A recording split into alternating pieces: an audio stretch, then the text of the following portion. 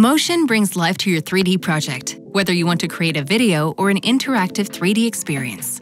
Making objects, materials, and lights move over time is called animating. For simple models, that's all you'll need to think about. But when models get complex, you have to prepare them for animation. That's what we call rigging.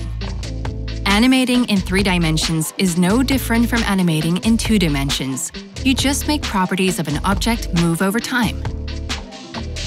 3D applications that let you animate have a timeline that allows you to play back or slide through the duration of your animated sequence.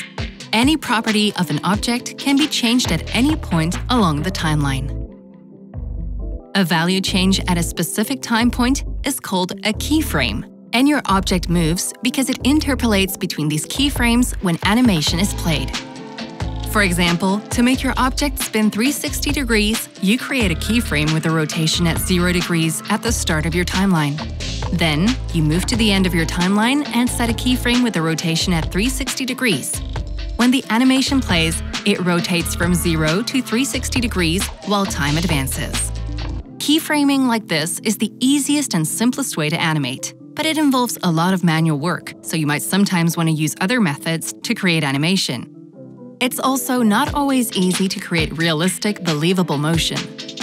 There is a technique to capture movement from something that moves in the real world. It's called motion capture, or mocap in short. Motion capture means the computer captures that motion from the real world and brings it into the virtual world.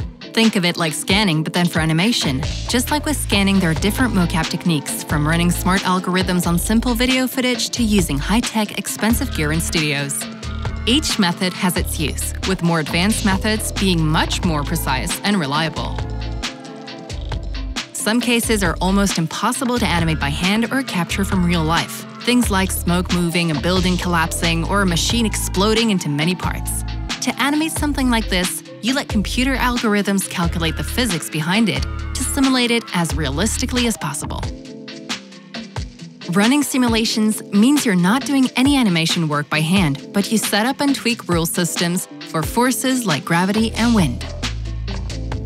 Making simple animations like spinning an object or bouncing a ball doesn't require any real preparation work, but complex objects always need to go through an extra step before they can be animated easily. That step is called rigging, and it comes down to building a virtual skeleton and controls for it. There are three main reasons to build a rig for your 3D model. First, your object could be very complex and consist of many parts, so much that it becomes impossible to handle each part individually. Think of a clock. Moving one gear at a time would be tedious, but a rig simplifies this and lets you control many parts at once. Second, with a rig, you can deform a 3D model when animating. Think of it like bones with tissue and muscle around it. A rig lets you morph, bend, and twist your 3D model in ways otherwise not possible.